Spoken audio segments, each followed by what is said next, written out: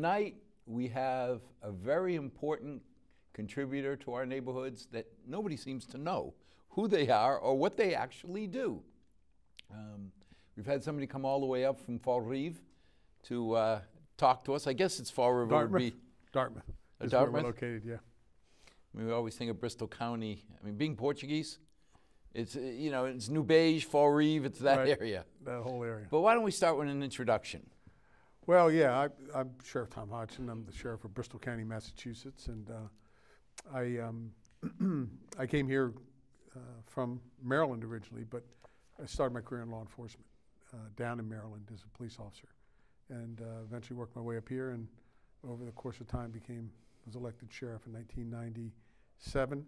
I was appointed in 97, elected for my first term in 98, and been serving as the sheriff since that time. And of course, we talked off the air earlier about the idea that a lot of people don't really understand what does a sheriff do? How did sheriffs evolve? We're, we're, uh, we actually we actually invented law enforcement, believe it or not, going back to the, the earliest days of English tradition. And um, and uh, the sheriff was the sort of collector of the taxes for the king back when, and they they were back then instead of counties they were called shires, and that's where the term it was sharif, and eventually Oh. became sheriff. So, uh, and of course, evolved into the United States. We were the first law enforcement officers in the in the country, and uh, over time, then there became municipal police departments that developed, and so, uh, depending where you are in the country, would depend on how involved or what the role of the sheriff is. But we are um, constitutionally established as a point, as opposed to police officers who are appointed uh, by municipalities. So uh, we're elected by the people, and we serve in Massachusetts. We have six term, six-year terms, and um, our our responsibilities in Massachusetts are to continue with our law enforcement support of our local police departments. We have collaborations and task forces and things we work with uh, local police on, as well as running uh, primarily uh, operating the prison and the jail in each county. So uh, we're we're sort of a still continuing in our law enforcement role, but we're also responsible for the correction side of it in doing, um, you know, the operations of the prisons, administering the prisons and things like that. Uh, as well as we have a civil process division that does civil process work, serving papers for, for attorneys and courts and so forth. Um, in other parts of the country, some sheriffs, for example, LA County, the sheriffs basically do the patrol that you would normally see law enforcement. So I was going to say, when we were in Gaithersburg, Yep. uh, Montgomery County seemed to run law enforcement. Yeah, Montgomery, they had county police force. Right. as opposed, but Rockville City, which is in Montgomery County, also had their own city police force. Oh, I never knew that. Yes. So there were some communities that still uh, wanted to have their own local police, but the county police department would patrol the entire county. And so, um, you know, it, it depends where you are in the country as to how it evolves. But the one thing about the office of sheriff is that we have always retained the power as the number one law enforcement officer in the, in the respective counties in the country. That's, that's by constitution. So that really is sort of the, the fundamental role we have, and that, See, I can see advantages both ways because, Tom, one of the things I like about Milford, the way we have the police set up, they get no benefit from writing tickets except safety. Right. So we're not going to turn around to our police chief and say, okay, Mike, you better write 500 tickets or you don't have a budget for your last police officer. right, It's like whether you write one or a thousand, that thousand tickets revenue goes into the general fund, and you don't. I guess you see it, you know, from the fact that the town budget benefits. right. But, it, but I would tell you, most police departments, uh, they aren't driven by the money. They are, as you said, which is important, they're driven by making sure that people follow the rules, don't put other people at risk, um, and, and cause people harm or even death. And that's why they have tickets, is because more often than not, when officers can give a warning, they will.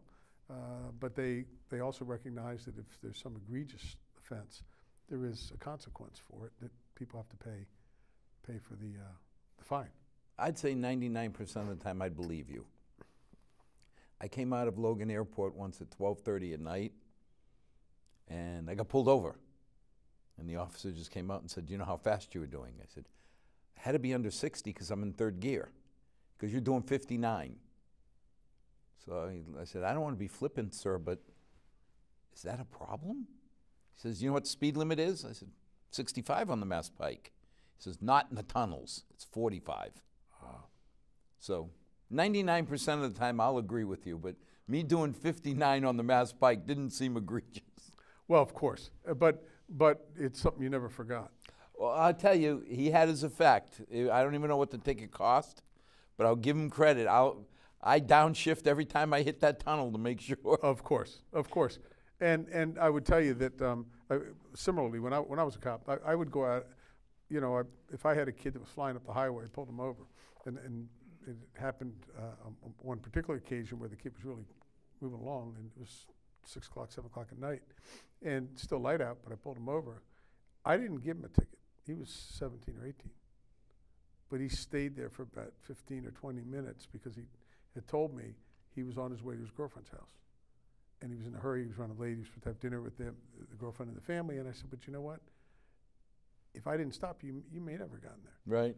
And I, I, I lectured him more than he probably wanted to be lectured, and probably made him later than he wanted to be, and probably ended up with more regrets that way than he would have He'll if he got remember. But he would remember. He'd also remember he didn't get a ticket. Right.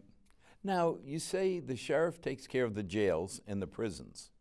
We administer the jails and the prisons. Yeah, we have probably the most complex job of any state job in the Commonwealth of Massachusetts. We are dealing with the most difficult people, particularly with the, the uh, evolution of the opioid crisis, the drug problem in this country, uh, the mental health problems. They shut all the mental health hospitals and basically are, are sending them to our places where we have strict schedules, we have to, around when people move, classification around the level of disciplines, the threats to one inmate or another, uh, to our officers, depending on how people are classified, and when you move them, how you serve their meals. Everything has to be on a, a very strict schedule. You've got, um, you know, the, the health issues. We, we detox, in Bristol County, we detox more than any other sheriff's office in the entire state, and including MASAC, uh, Massachusetts Alcohol uh, Center. Um, we average on uh, a daily seven detoxes a day, a day in Bristol County. We have serious drug problems. We have to deal with the mental health issues around potentials for suicide. We have to create all kinds of new um, stopgap measures to deal with a, a, a more crisis population coming in. We have to manage. When you think about the number of people we have to manage from our, our, our employees, in Bristol County, we have about 650 employees. I mean, in our district attorney's office there, they have 165. Um, our budget is 47 million. The district attorney's budget is 10. Ours is four times. So when you start thinking about managing the taxpayers' money alone to run that operation, maintenance, think of the maintenance issues, the healthcare issues, the, the staffing, the overtime, the recruitment, all of these things, the policies, the many, many policies, procedures, the inspections we go through. Um, you have, you, we've had 23 inspections in 24 months, federal, state, and local. DPH, comptroller, I mean the excuse me, the auditor's office. All these things, and we are we are scrutinized more than any other agency in the Commonwealth. Please take this the way I mean it, not the way it sounds. Sure. Are your people up to this? I mean, you take somebody who's a career law enforcement officer or whatever you call a corrections officer, and all of a sudden you say you're not only dealing with people who've done bad things, but now I'm going to throw at you people who don't know better, you know, mentally handicapped. Correct. Correct. How do you make, and I I don't mean it in a negative way, but my God, if I spent my whole life training on this, Yeah. and now, from what you're saying, a large percentage of what I'm doing is that.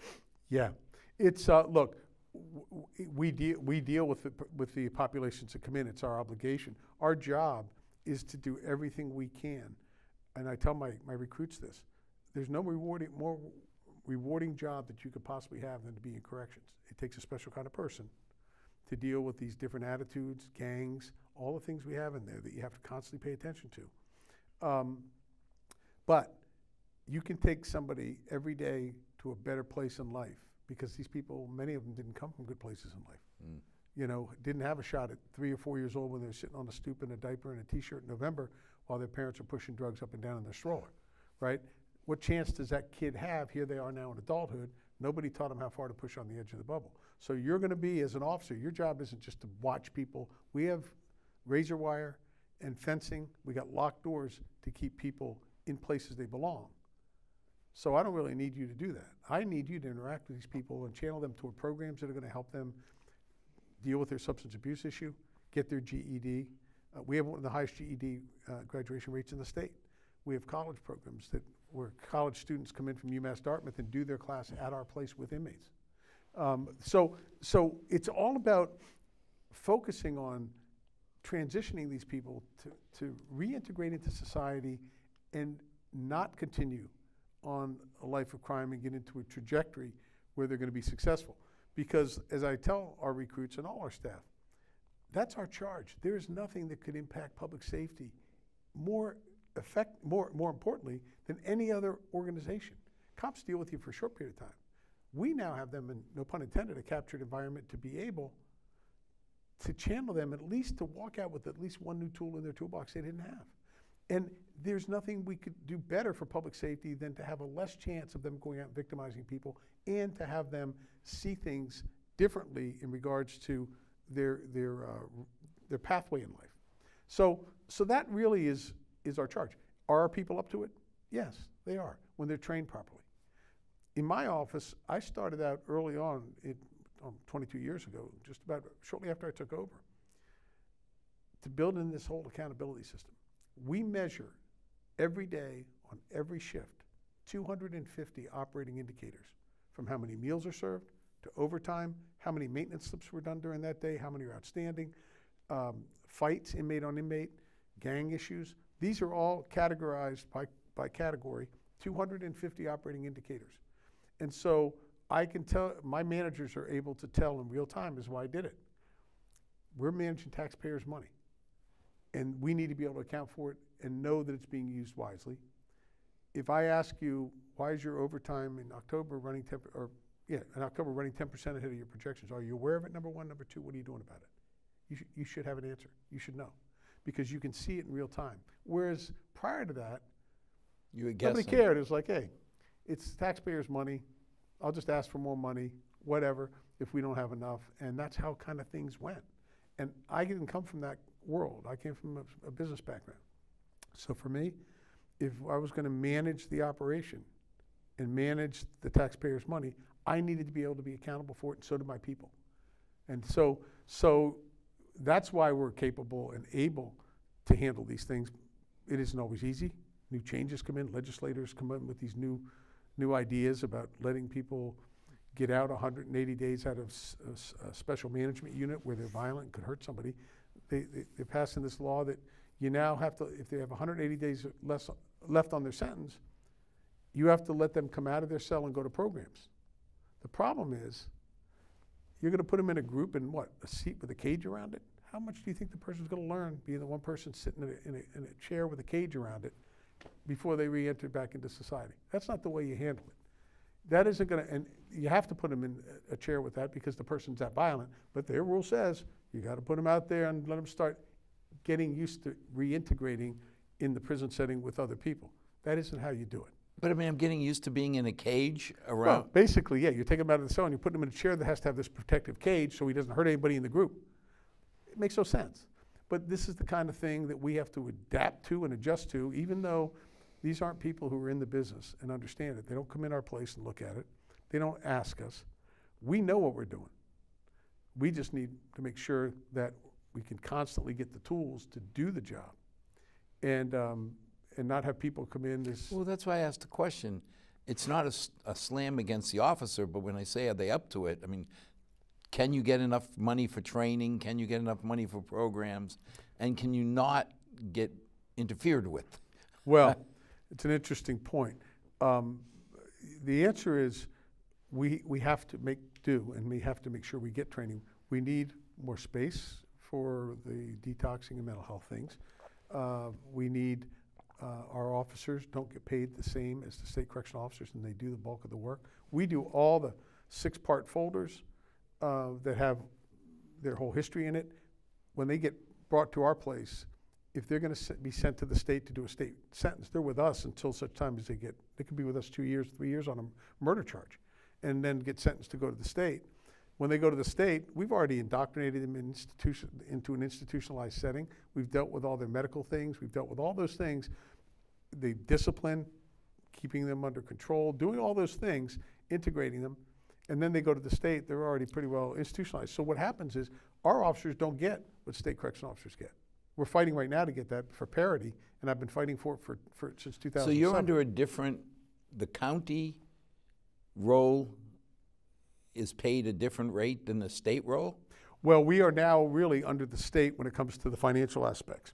We're still independently elected, but we fall under the state, under, under legislation that Deval Patrick put in. But, but, but the point is that our officers is, aren't getting paid the same as the state. Well, that's what I'm officers. saying. And the state correctional officers agree with it. They say they should be paid. And this has gone on for years. So we have a bill filed right now, uh, a parity bill, that we would expect that the legislature will put through, you know, equal pay for equal work. And these guys do actually a little more. Now, a lot of us don't really understand. If I do something bad, our local police chief rounds me up, fingerprints me, does all that good stuff, and I could go into a cell in the Milford Police Station. What happens after that?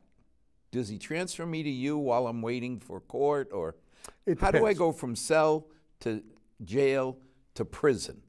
Well, it depends on the county. I, when I took over, I opened up the first regional lockup in the state. I have the largest regional lockup in the state. So basically, what will happen is any of the police departments in my county, if they arrest somebody, they can bring them to my Ash Street facility in New Bedford, drop them off, we take care of them, which makes all the sense in the world. You eliminate the liability for the taxpayer, having the person stay at a police station lockup where the police officers aren't trained and updated on corrections practices. You know, you wouldn't expect an officer to know about positional asphyxiation, which is how somebody, if they're, if they're intoxicated or under the influence of drugs, how they're positioned in their cell. If they're not positioned properly and you weren't trained, they could die of asphyxiation because they're not, pro- they're, they're, they're drunk or. I mean, even things like Narcan. Well, the new regs for producing as Narcan becomes generic, it used to be you just tested it straight up Yep, and its effectiveness when delivered that way. But then the police officer's saying, hey guys, we don't hold people vertical. Most of the people that we have to administer Narcan to on the ground. are on the ground, Correct. either straight out 180 degrees Sure. or you know 45 degrees negative. So at least somebody listened because they're putting in new re- uh, requirements. Right. But, but, but think about this. If, why would you expose a police officer and his family to a lawsuit of somebody that died in a cell when the officer did everything but wasn't trained? Yeah, he did person- everything he was taught he, to. He did everything he was taught to do, but wasn't given the updates and things that were needed. It's not the ideal place to be holding somebody over a weekend. We have medical staff around the clock. We have food services. What I do in my county, they pay for, per inmate. They drop them to us. We take care of them. We take them to court. The police department doesn't have to take them to court. Take, and the adva- other advantage is, you let the police officers do what they do best: get back in the community and, and, I was going to say, to me, crime. not taking a police officer offline Right. for how many hours? Correct. And keeping them away from being exposed to the person they arrested for as much time as you possibly can. You don't want them around, if, particularly if it was a difficult arrest, you don't want an officer to be exposed to that person for a long time. It, it makes all the sense in the world. You drop them off, leave them with the people that are trained in this business, eliminate the exposure or liability for that officer and for the taxpayer for a lawsuit because you know they're in a place where we do care in custody and we know it inside out.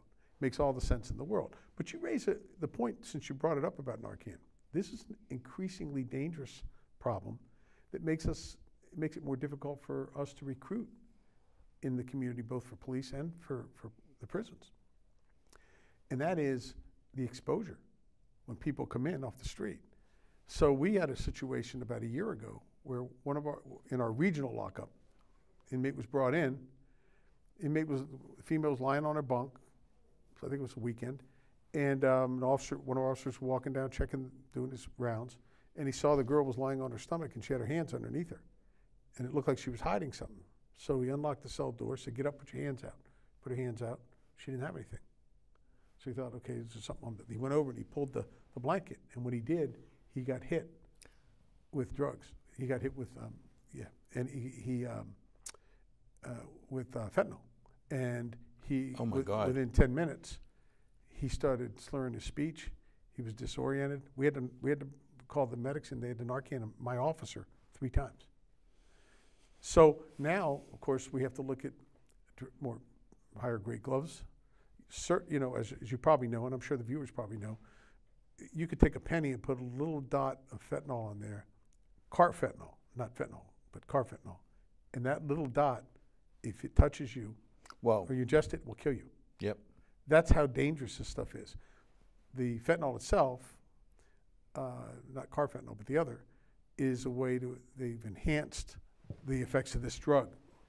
And so, so it's very dangerous. The cops on the street that are doing their jobs, they're, they're, they're, they're narcanning people and they, they, it might be on the person's clothes or whatever, they ingest it, now they got a problem.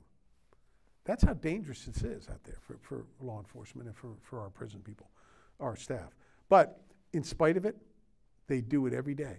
They do their jobs, they go in there, they deal with, you know, how difficult it must be for teachers in a classroom with kids that are out, out of order and, you know, not well behaved.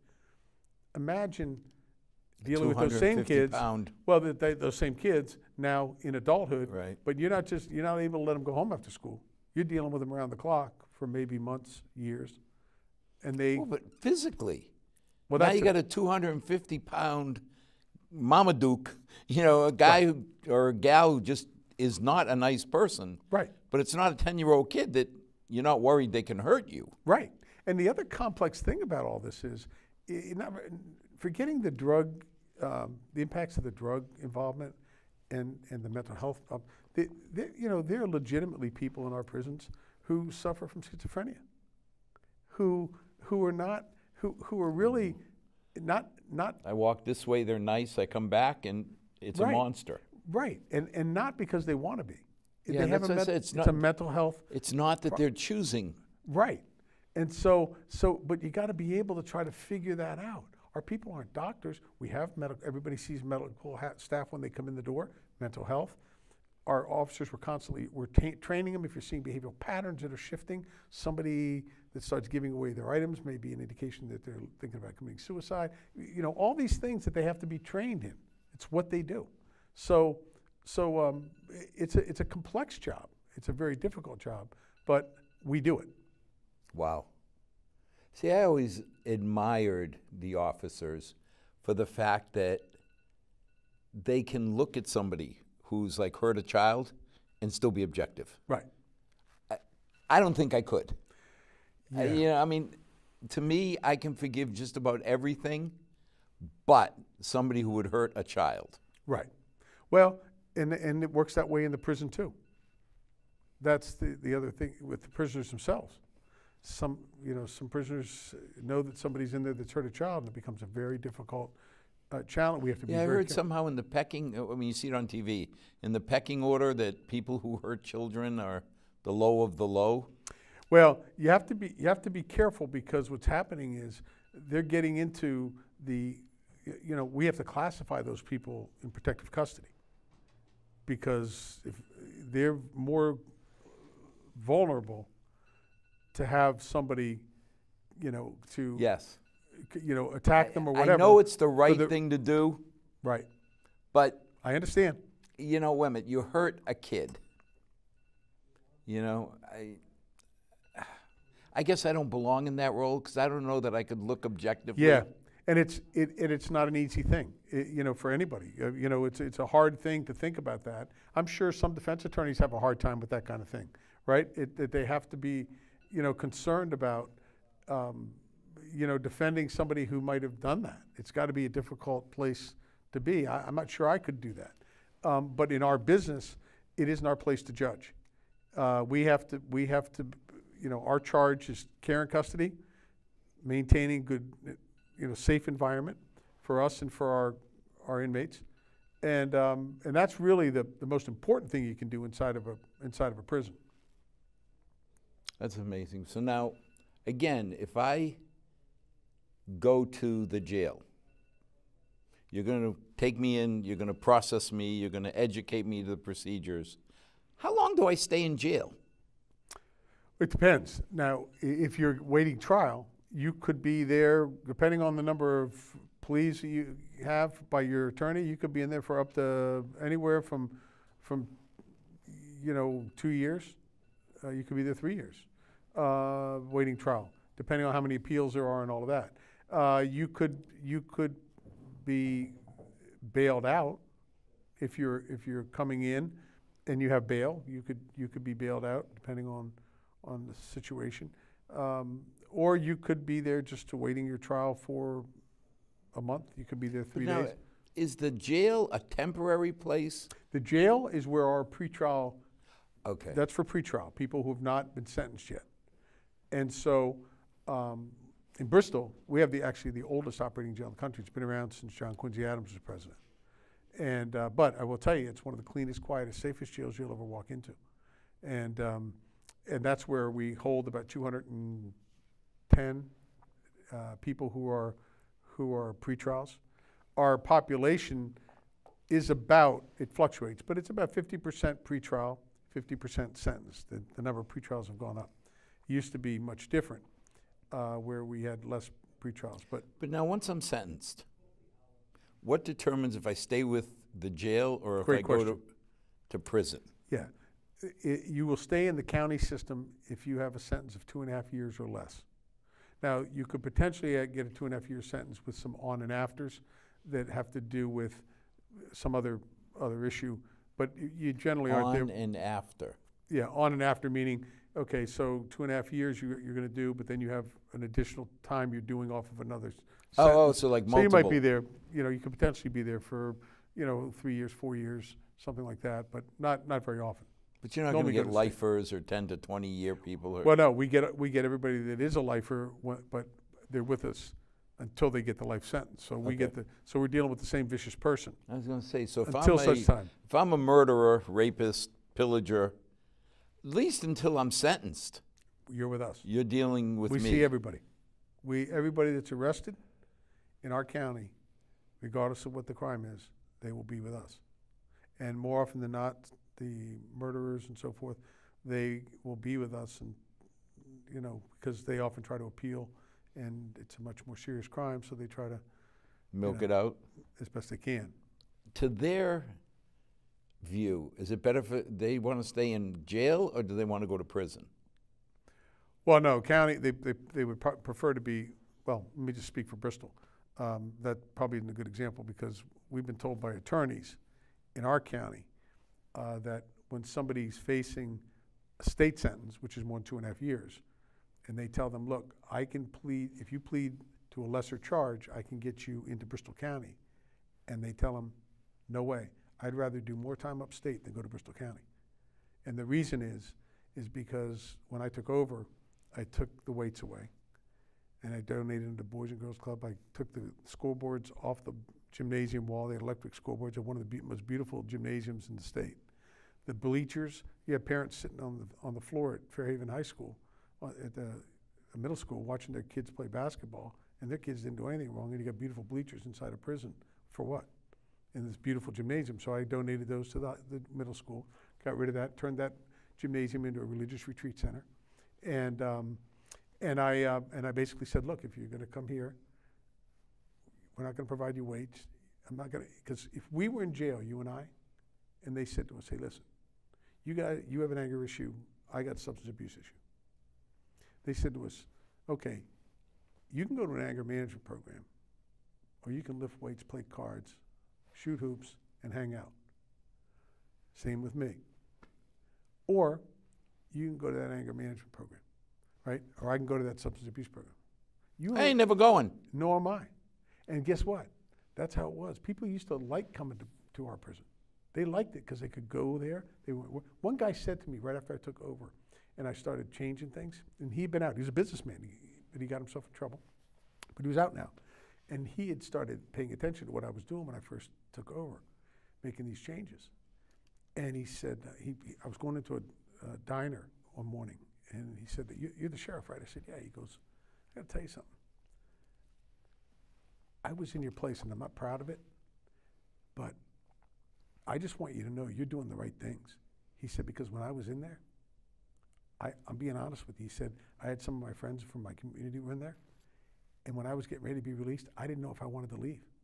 Because I was, he, he was being very honest. This guy very, it was successful. He said, I didn't know if I wanted to leave because it was basically I, I hanging out, doing just basically nothing with my buddies, and I didn't have and and this was a guy who was a businessman, and he did continue on and be be successful in his business. But the point is, and I've had people stop me. I had, a guy. I mean, jail, in my mind, ought not be a destination location. Correct, but it was. That's the truth. It was. And anybody that tells you it wasn't is not being honest with you, including the inmates. And inmates will tell you if they're really being honest. Yeah, I would rather watch TV lift weights. But my point is, and I've said it to inmates, how come I can't? Why can't we put have pull-up bars in our cells? I said, I have no problem with that. Give me the money for it. Yeah. Well, that no, I said, but let me ask you a question. Do you want your, if you have any kids, would you want any young kids from your neighborhood to go through what you're going through right now? No. Well, if I do that for you, then I'm channeling you away from pro. You still get to make a decision to go to programs or not. Be in your cell and be bored, or when you're out in rec playing base, basketball outside, you can do that. But short of that, there isn't going to be anything alternatives like there used to be. So you can sit in your cell and be bored if you want. But why would I fail you? And why would I fail the people in your community by, by knowing that you would be more tempted to go over and avoid the program that's going to help you leave here and never come back? Why would I do that?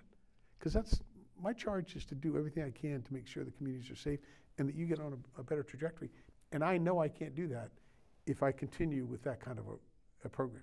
So I'm not going to do it. That's amazing. I had a distributor once in Turkey, and he asked me, he said, um, Why do Americans like crime so much? And I said, Like crime? We don't like crime. We have prisons. We... He goes, No, you don't. You have holiday inns. He says, I have a question.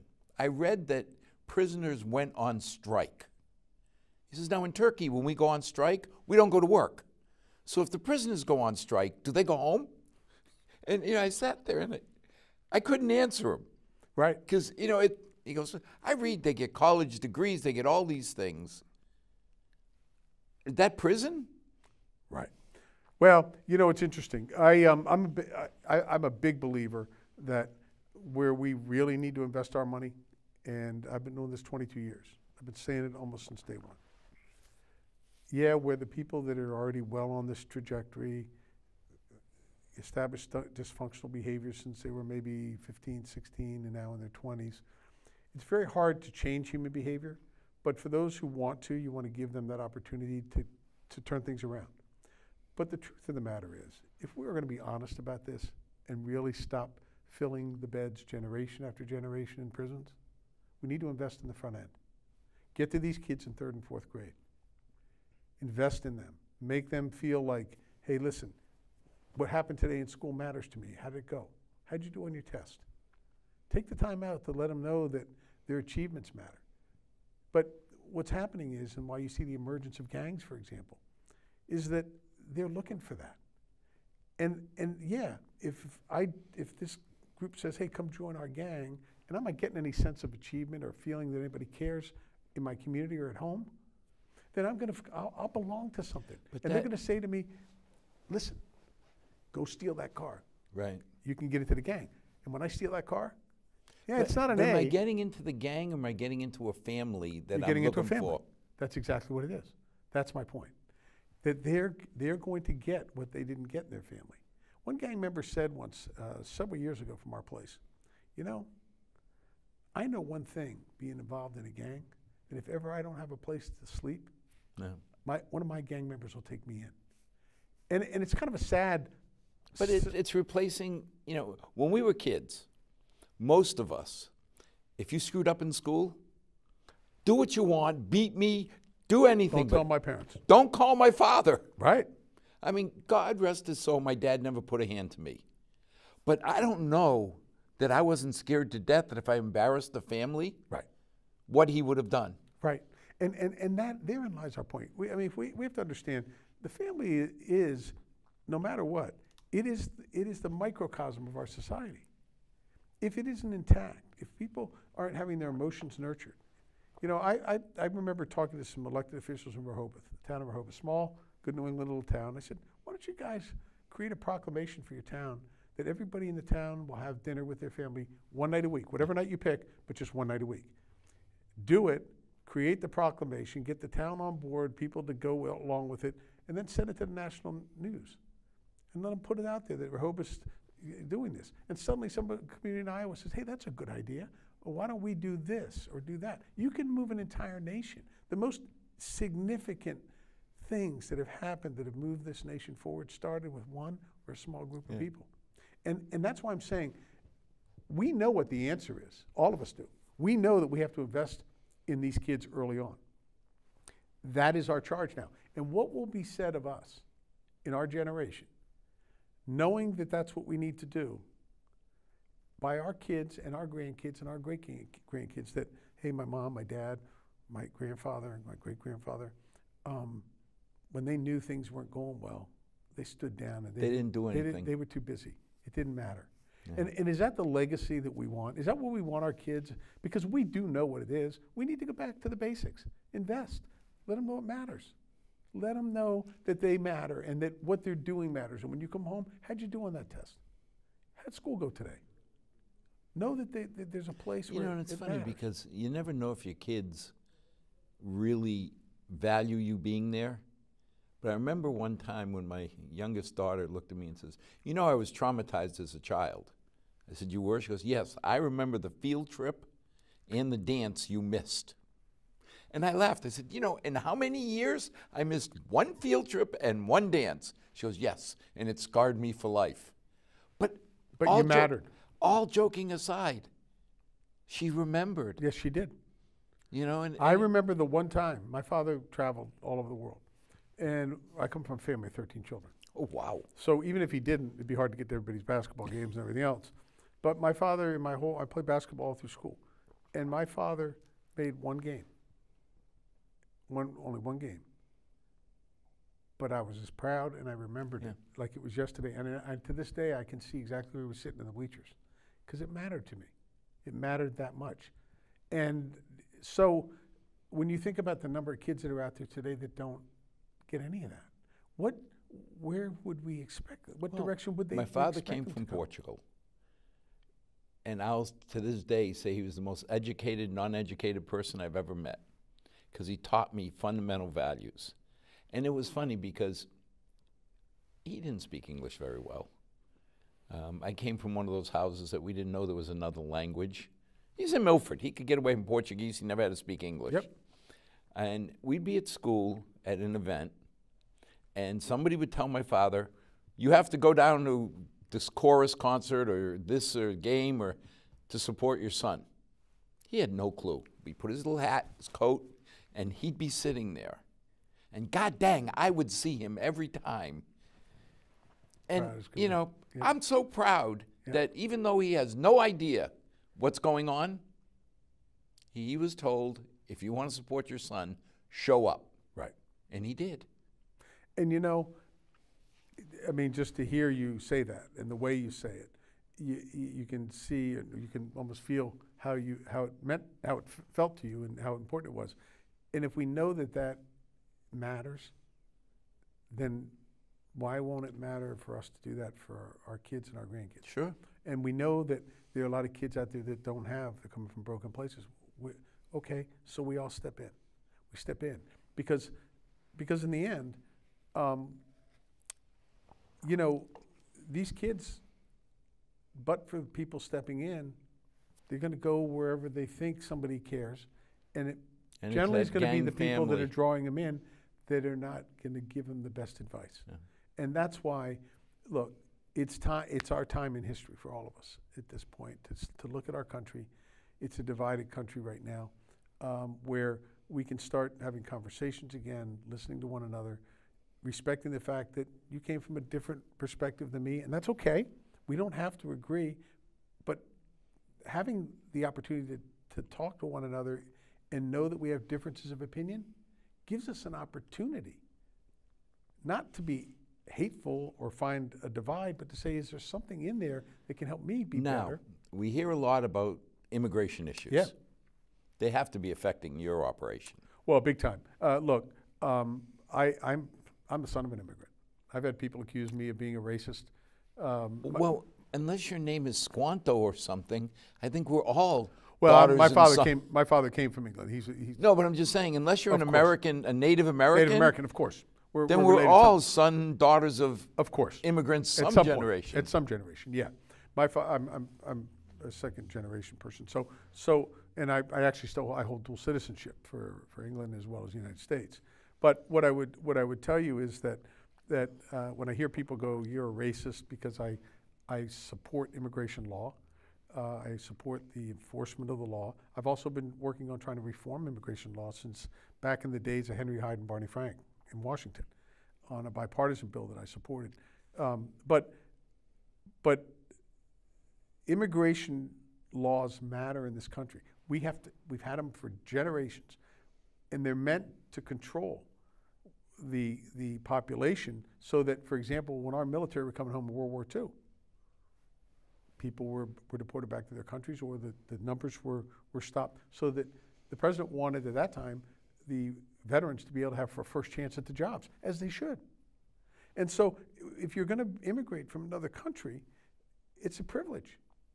And what's really troubling to me is that we have elected officials who are saying, pay no attention to what's behind that curtain, all those people sneaking in over here.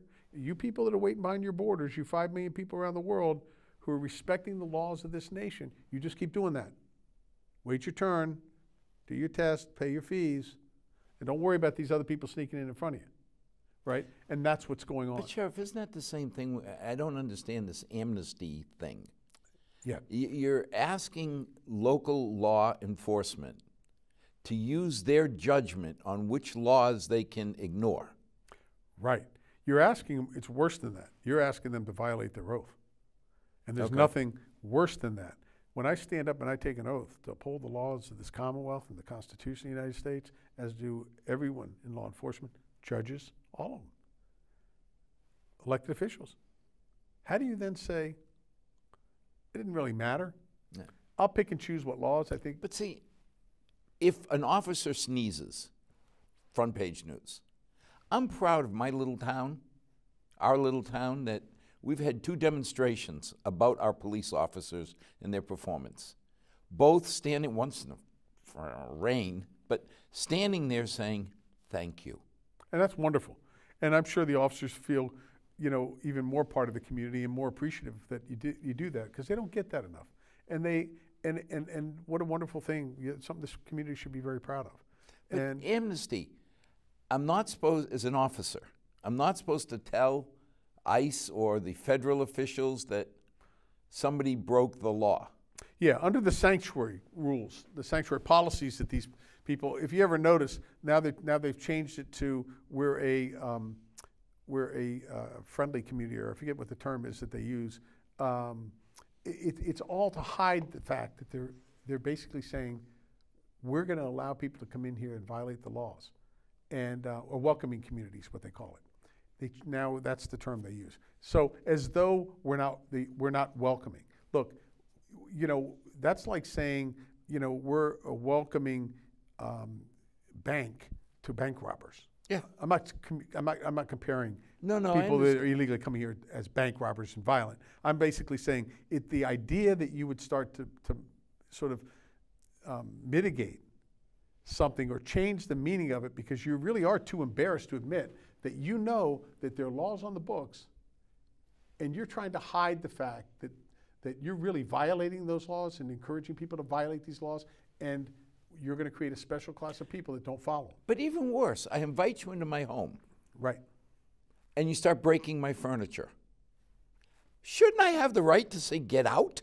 Right. So it's not even that you self-invited yourself into my house. You Right. came into the country. You are technically, Illegal, you violated and the I law. can't use the politically correct phrase. It's dang illegal.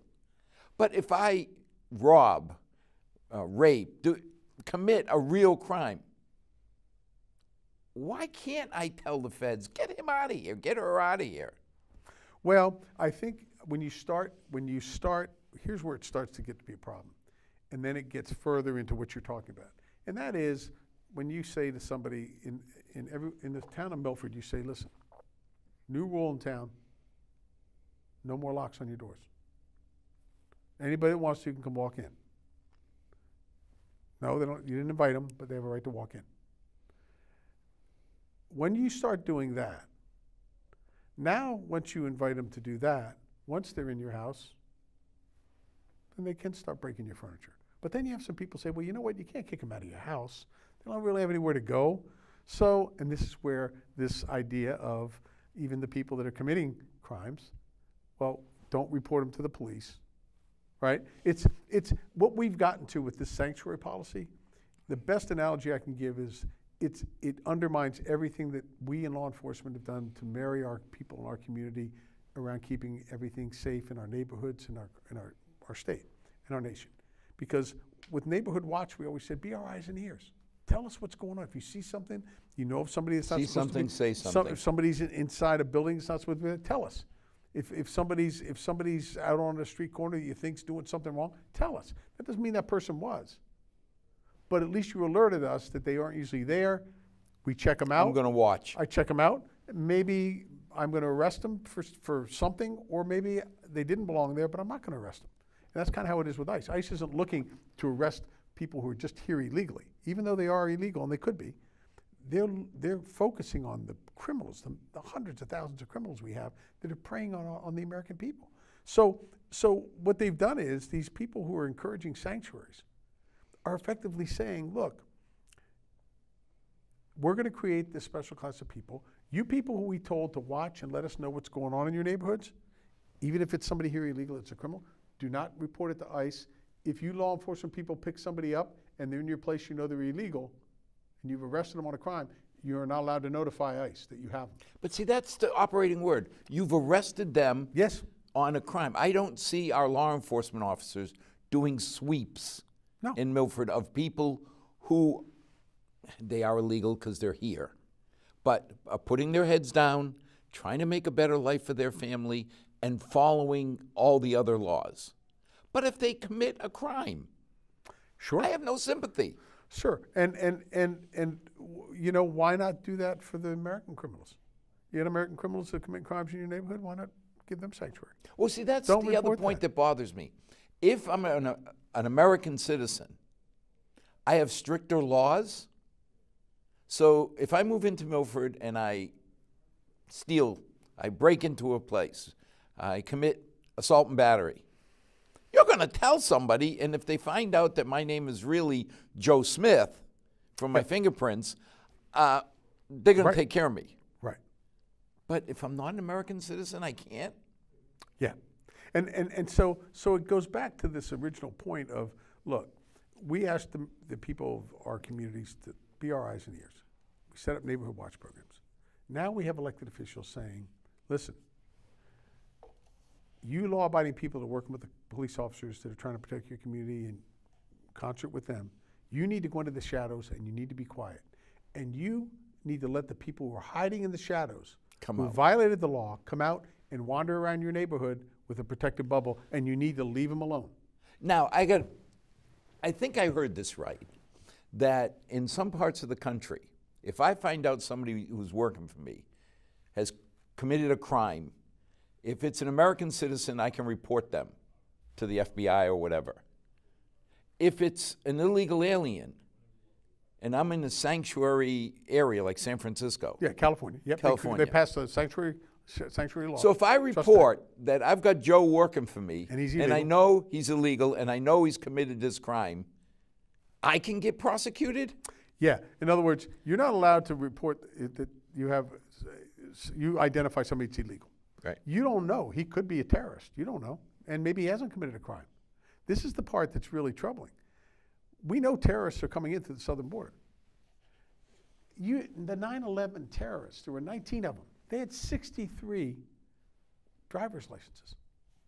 63. So, so here's the problem you, you, you, have, you have people that hadn't committed a crime yet. They were in the country, some were illegal, some were legal, they were on, on status. But they had 63 different driver's licenses, false identities. These people, if you ran across one of them, they were at flight school. If you notified ICE in a sanctuary city, you'd be getting in trouble. In California, if they were out in California, I'd be getting you'd be getting in prosecuted trouble. You would be getting prosecuted. Yep. for As following the U.S. citizen. law. For a law-abiding citizen reporting it because they created a state law that said you're not allowed to report it. But you know, the other thing, how is it that we're asking the enforcement end of our government?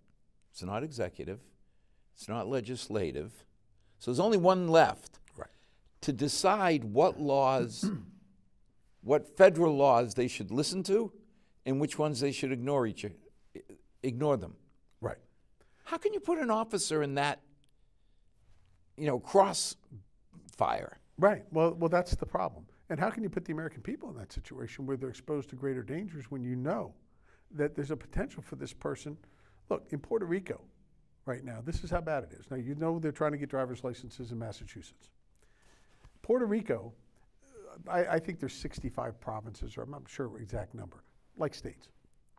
If you live in Puerto Rico and you're uh, Puerto Rican, you can go to every one of those 65 provinces up to three times a year and get three original copies of your birth certificate from each of those provinces. You're talking, what, 190 some original copies of your birth certificate. Now you say, why would you want that? Because I can sell them to the, to the Dominican cartels. And so I say to you, if you're a member of the cartel, hey, listen, here's my here's a birth certificate. It's original. You go to New York, but don't go. uh, You go to any state, but don't go to New York and don't go to Massachusetts because I already sold the same one to two other people. And that's that's what's happening. So now you come to Massachusetts, and you have Juan, uh, Juan Yeah, Joe Smith. whoever, his original birth certificate. You go to the registry of motor vehicles, my original birth certificate. Okay, yep, boom. Okay, here's your driver's license. You're a terrorist. You're a, you're a major member of the cartel. You're a, you're one of the key people that's trying to get MS-13 up in the Northeast, which they now have been doing. I was just on the border not too long ago, and that's what the, you know, the the uh, chief of the McGowan, um, McAllen sector was saying to me. I've been down there four times, and uh, and this last time I was there, he said, "You do know, sheriff, that the word here in Mexico, right on the border here, MS-13, go to Massachusetts. That whole New England region, we want you to take it back over. You just saw the bus up in Lawrence, right? Big bus, MS-13. And they have been moving and migrating up. You can see it with the bu- with it moving up here. So, and keep this in mind. This is really important. We're 2,500 miles from the border. We have, we're the second most common place in the United States to find fentanyl. And between 2007 and 2017, 10 years, we've had the highest migration of illegal immigrants than any other state in the United States over that period of time. The highest. 2,500 miles from the border. That amazes me. Yep, 2,500 miles from If the you border. told me Texas, Arizona, Pew New Research Mexico- came out with a report less than six months ago. Wow. So you would have thought that, right? But it, what it proves is they migrate up to the areas where they know they get the best cover, right? That's where they want to go, and you can see it on a map. If you we there's a map that shows the the um, the trails of the the routes of the drug cartels from the Mexican border up, and they all go through sanctuary cities, all the lines Well, for obvious reasons. If you're a criminal and you have a choice, you want to break into some houses, and you you go down Main Street in in South Main Street here in Milford. Are you going to pick the side of the street that's well lit and all the bushes are No. well groomed, or are you going down the side of the street where the bushes are growing up over the windows and there's no light? What are you going to pick? Right?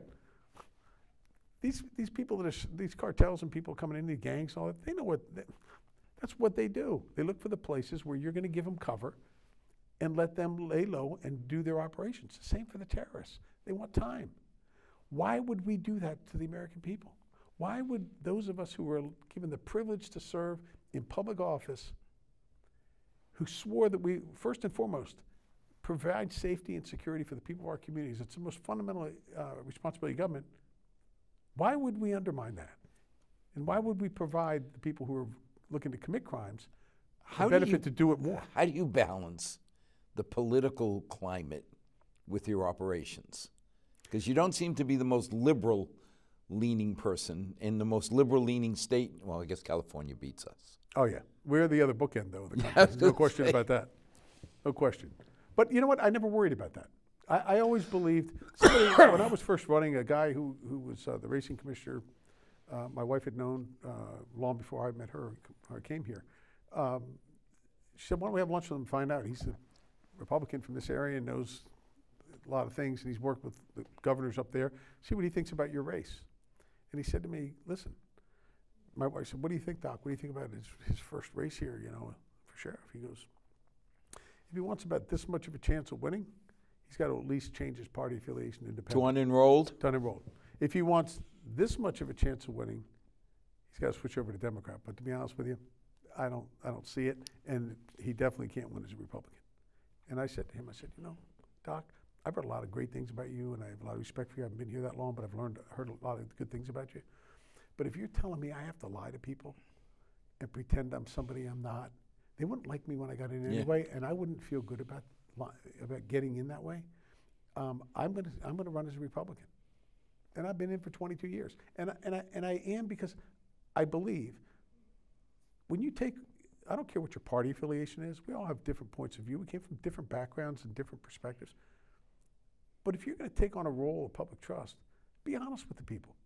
Just talk to them about what you believe is right for them. And if you don't, if you're way off base and you're out of whack, then you shouldn't be there anyway. They won't elect you again. And, you- and, and you don't belong there because you're not, you're not serving them and you're not giving them what they want. And that's just, if you keep it that simple and forget the politics, stop worrying about fighting. Uh, you're a Democrat, you're a Republican, you supported this one, you supported that. one. Everybody does. Everybody supports who they believe is the right person. Well, it was an absolute pleasure I enjoyed it. as Yeah. we come down Thanks to the end. As always, hopefully you got a new perspective from Bristol County. It's not Milford, but some of the things that I'm hearing I sure like, and I'll bring up with Uncle Lou to find out Sheriff Lou. why it's in Bristol and not Worcester. But as always, But he's doing a good job too out, out here. oh, we, we like Uncle yeah, Lou. he's doing a good job. He's helped us out. As always, thank you to our six loyal viewers. God bless, and may tomorrow be a better night than tonight.